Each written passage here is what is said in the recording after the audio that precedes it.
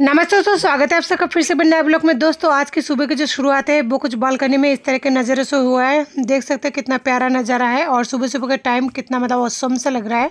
यहाँ का मौसम जो है, सर्दी हल्की हल्की सी पड़ने लगी है और घर से मैं कुछ भी नहीं लेकर आई हूँ। बच्चों को ठंड से लग रही थी रात को और सोनू का जो तबीयत है, पता नहीं क्यों इतना दिन ब दिन बिगड़ते जा रही है। मैं तो नहीं समझ पा रही हूँ, लेकिन डॉक्टर जो है, बहुत ज़्यादा जाँचों पर जाँच करा रहे हैं। बस थोड़ा डर सा लग रहा है। आप लोग दुआएँ बनाए रखना। हम ऊपर है और घर नीचे है। घर छोटा हो गया भैया हम ऊपर है। हम्म, उधर। ये है खाना सुबह का लाया हुआ है। इसमें रोटी है सब्ज़ी है। और ये वो एप्पल लेके आई थी जो ये दही।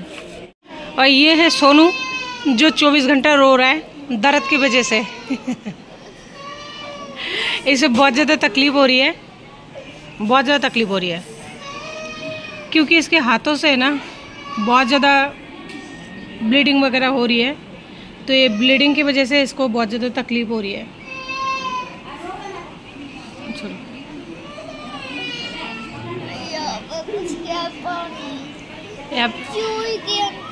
हीरो नहीं हीरो नहीं।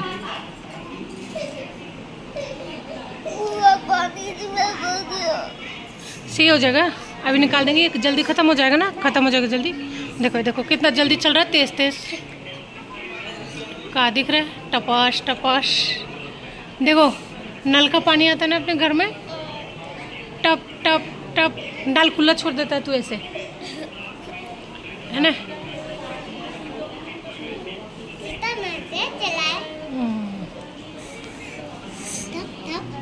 हम्म।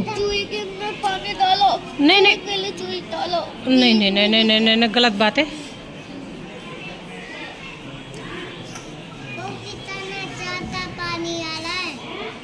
बार बार एक ही बात बोल रहा है सुई को निकालो सुई को निकालो। लेकिन उसे कैसे समझाऊं कि सुई को नहीं निकाल सकते हैं? जब तक सही नहीं हो गए तब तक नहीं निकालेंगे। और जब तक इस हाथों में सोजन ना आ जाए तब तक नहीं निकालेंगे। देखते हैं, भगवान कब तक सुनता है मेरा।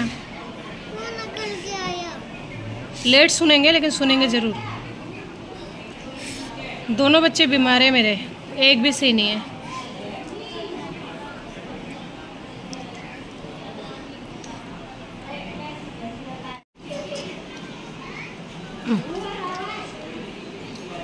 ये दिया ये मैंने ये मैंने तो नहीं है ना तो ला छोड़ो छोड़ो।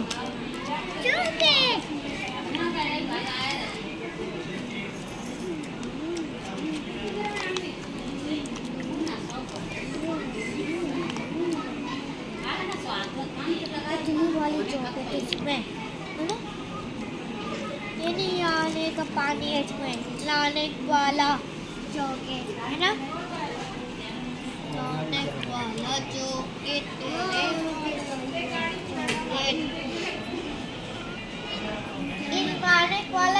तो जी, दिन ढल चुका था। यहाँ पे देख सकते हैं मैं लेटी हुई हूँ, जबकि दो बच्चे हैं मेरे, इतने से बिस्तर में कुछ ही नहीं होता। लेटने की वजह यह है, सोनू को बहुत ज़्यादा फीवर हो रहा है। तो सोनू बोल रहा है, मेरे पास सो, नहीं तो मैं ऊपर नहीं सोऊँगा और मुझे ये जो इंजेक्शन लगा हुआ है, इसे भी नहीं लगाऊँगा, इसे भी आप हटा लो या फिर हटवा दो। उसे किसी भी तरह से चुप नहीं कर पा पा रही थी। इस वजह से मजबूरन बच्चों के साथ मुझे सोना पड़ा आप देख सकते हैं कितना सा बेड है, जिसमें छोटू सो रहा है, उसे भी फीवर बहुत तेज़ आ रहा है। और यहाँ पे सो रहा है सोनू, जो मेन परेशानी है, वो है सोनू का है। उसका फीवर बढ़ती जा रही है, बढ़ती जा रही है। तो उसको लेकर टेंशन तो है ही और ग्लूकोज उसके हाथों से एक सेकंड के लिए भी नहीं उतर पा रहा है। क्योंकि फीवर जो है एक सेकंड के लिए भी कम होने का नाम ही नहीं ले पा रहा है और इसी के साथ जो है लूज मोशन लगा हुआ है तो सोचिए सीरीज़ लगी हुई है हाथों में और बार बार अगर लूज मोशन के लिए कोई बच्चा जाए तो उसका हालत कैसा है? देख सकते हो वो नींदों में भी कैसे कैसे रिएक्शन दे रहा है और कैसे कैसे हरकतें करे जा रहा है। तो मुझे तो सोना नहीं है, रात के टाइम में, रात के करीब साढ़े तीन चार करीब बज रहे हैं तो रात को भी नहीं सो पाती हूँ, दिन को भी नहीं सो पाती हूँ, कोई बात नहीं, मुझे कोई फ़र्क नहीं पड़ता, बस मेरे बच्चे के तबीयत जल्दी से भगवान सही कर दे। बच्चे दिन में बहुत ज़्यादा परेशान हो गए थे तो मैं चले गए थे, बाहर बाहर जाकर थोड़ा सा चॉकलेट जो है, कॉफ़ी बाइट के नाम से आता है, वो लेके आए थे दस रुपये का, क्योंकि दोनों बच्चे बहुत ज़्यादा परेशान हो रहे थे तो उनको जैसे चॉकलेट दे दिया ना तो सोनू थोड़ी सी देर के लिए खुश हो गया, जबकि डॉक्टर ने माना किया था उसे देने के लिए, लेकिन मैंने फिर भी चुपके से दे दिया, ताकि बच्चे का माइंड भी थोड़ा सा सही रहे, नहीं तो बच्चा बहुत देर तक एक जगह पर रहना भी नहीं चाहता है, और वैसे भी वो चिड़चिड़ा हो चुका है, दिन में कम से कम सत्तर जाँचें करा रहा है। तो सारे जांचों की रिपोर्ट तो मैं आप लोगों को नहीं दिखा सकती ना। तो क्योंकि बहुत लंबा वीडियो बन जाएगा और बहुत सारा प्रोसेस हो जाएगा। बहुत कुछ मतलब जाँचें वगैरह लिखा है। दिन में कम से कम दस बारह जाँचें हो रही है। तो इस वजह से है ना मैं उन जाँचों को तो आप लोगों के साथ शेयर नहीं कर रही हूँ, पर ज़रूर करूँगी, समय मिलेगा तो। इस टाइम समझ सकते हैं आप लोग मेरी जो हालत है, क्या हालत है। दोनों बच्चों को इस तरह छोड़ के जाती हूँ खाना लाने के लिए, कभी क्या कभी क्या। और सोनू को बहुत ज़्यादा दवाई लग चुकी है। अभी आप लोग अगर देख पाएँगे तो उसके हाथों में बहुत सारी दवाइयाँ लग चुकी है। ये है मेरा थर्मोमीटर जो कि घर से लाई हुई है तो देखिए हाथों से है ना गिर गया और गिरने की वजह से इसका बैटरी थोड़ा सा जो है लूज़ हो चुकी है, लेकिन ये काम कर रहा है अभी भी। लेकिन शायद ये ज़्यादा दिन तक काम नहीं करे, क्योंकि कोई भी अगर सही चीज़ एक बार गिर जाता है, उसके बाद में काम ठीक तरह से नहीं करता है। आप लोगों को मैं लाइव दिखा रही हूँ, देखिए बाबू का फीवर इतना ज़्यादा हो रहा है ना हद से ज़्यादा हो रहा है, क्योंकि एक मिनट तक मैं खुद यहाँ पे नहीं देख कर मतलब रह पा रही हूँ, इतना ज़्यादा सीने में दर्द सा हो जाता है। ऐसा लगता है, भगवान मेरे बच्चे के साथ ऐसा क्यों करता है? सच कहूँ ना, मेरे सोनू जब से हुआ है, तभी से ऐसे बीमार रहता है और वो बहुत ज़्यादा कमज़ोर है और उसके बाप के जाने से है ना, उसके दिमाग पर अगर असर पड़ा है तो सबसे ज़्यादा असर उसी पे पड़ा है क्योंकि वो अपने बाप से बहुत ज़्यादा प्यार करता था। लेकिन मैं उसे समझा नहीं पाती हूँ कि बेटा, जो इंसान चले जाते वो लौट के नहीं आता है। कई बार उसे समझा चुकी हूँ, मर गया मर गया, लेकिन वो है कि मानता ही नहीं है। देख सकते आप लोग, उसका फीवर कितना ज़्यादा आ रहा है। जबकि मैंने एक मिनट तक नहीं रखा था, उससे पहले जो है उसे निकाल लिया था। निकालने की वजह ये है, मैं जब देख देखती हूँ ना, बच्चे का बुखार 104 104 पॉइंट ग्यारह, एक सौ चार पॉइंट सात मतलब इस तरह की हो रही है ना तो फिर मेरा दिमाग आउट हो जाता है। अभी देख पा रहे हैं कि बच्चा नींदों में भी कैसे हरकतें कर रहा है, क्योंकि उसे हाथों में बहुत ज़्यादा पेन हो रही है और प्लेटें जो है बहुत ज़्यादा डाउन होता जाता है दिन ब दिन। तो आप लोग समझ सकते हैं कि डेंगू में बच्चे का क्या हालत होती है, क्या हालत नहीं होती है और जिनके बच्चे को डेंगू हुआ होगा या फिर किसी भी इंसान को, उन्हें पता होगा। देख सकते हैं, सोने के लिए के यहाँ पे बैठने के लिए भी बिस्तर में ज़रा सा जगह नहीं है। जगह कहाँ से होगा? हॉस्पिटल का बेड आप सभी को पता है, बस एक मरीज़ के लिए होता है, लेकिन यहाँ पे तो दोनों बच्चे सो रहे हैं। वही बहुत है मेरे लिए, क्योंकि अगर एक ही बेड है बेड मिला नहीं था बेड जो है इस टाइम कम पड़ रहा है। और देख सकते हैं, बाबू के कितने सारे मशीनें लग चुकी है। ये जो छोटा सा मशीन दिख रहा है, आप लोगों को वाइट कलर का, गोल का, गोल सा दिख रहा है। वो आया है पाँच का, बहुत ही महँगी आया है। अब वो क्यों आता है, मुझे ये तो नहीं पता। ये जो है बाहर से मंगवाए थे तो मुझे कहीं से भी तो पैसे वगैरह का मदद वगैरह नहीं मिलती है। जो भी है मेरे पास देखूँगी, भगवान कितने देर करवा पाता है, उतना देर करूँगी, जब नहीं होगा तब देखी जाएगी।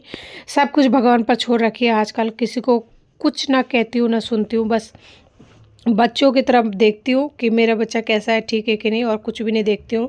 देखिए, लावारिसों की तरफ़ पड़ा हुआ है। ऐसा लगता है कि कोई भी नहीं है इनका और हकीकत बात भी तो यही है ना, कोई नहीं है इनका। तबीयत इतना ज़्यादा ख़राब है, अगर कोई इंसान नहीं आ पाता तो कम से कम चार पाँच हज़ार रुपये तो दे सकते हैं ना। अगर चार पाँच हज़ार रुपये भी नहीं दे सकते तो कम से कम बच्चे का नारियल पानी का खर्चा या फिर कुछ दवाई का खर्चा, दवाई तो कोई इंसान खाएगा नहीं ना। दवाई का बिल तो मैं उनको हाथों हाथ व्हाट्सअप कर दूँगी, जितने भी दवाई लिख रखे हैं, सारे दवाइयाँ व्हाट्सअप कर दूँगी, लेकिन वो कोई भेजने के लिए तैयार हो, तब करे ना किसी को व्हाट्सअप कोई तो बात तक करने के लिए तैयार नहीं है। दवाई का पैसा क्या देंगे? तो यहाँ पे बहुत ज़्यादा रात होने के बाद फिर भी नहीं सो सकती क्योंकि बाबू का तबीयत बहुत ज़्यादा ख़राब हो रही है। 104 पॉइंट अभी भी बुखार हो रहा है और मेरे पूरे बॉडी में जो है दर्द हो चुका है क्योंकि नीचे सोने की वजह से। अभी आप लोग देखना कि मैं कहाँ पर सोती हूँ।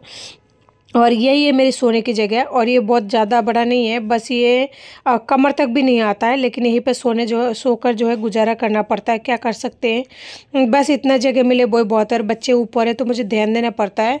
कई बार छोटू निकल जाता है उस कोने की तरफ़ अगर गिर जाएगा ना तो माथा तो फट जाएगा। इस वजह से भी मुझे सारा रात जो है जगना पड़ता है। लेकिन कुछ लोगों को मेरा वीडियो फेक लग रहा है क्योंकि बहुत लोग मुझे इस तरह से बोल रहा है कि आप फेक वीडियो बना रही हो तो मुझे समझ नहीं पाता हूँ कि है ना कहाँ पर मैं गलत हूँ और क्या गलत लग रहा है, मुझे समझ नहीं आ रहा है कि इस वीडियो में झूठ क्या नज़र आ रहा है। खैर, लोगों का काम है कहना, उनको कहते रहने दो, मुझे कोई फ़र्क नहीं पड़ता। मैं आप लोगों से हाथ जोड़ कर यही विनती करूँगी कि जितने भी मेरी यूट्यूब फैमिली है, मुझे आप लोगों से कुछ ही नहीं चाहिए। बस आप लोग दुआ करना कि मेरे दोनों बच्चे जल्दी से सही हो जाए और जो है मैं यहाँ से निकल जाऊँ।